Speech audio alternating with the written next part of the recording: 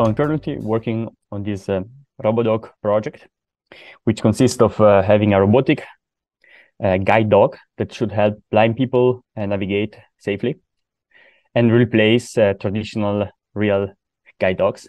As a, I mean, for some people, they are still a good option, but they are very costly to train, and not all people want to actually have a dog. And they can be programmed to do specific tasks, also working in unseen environments.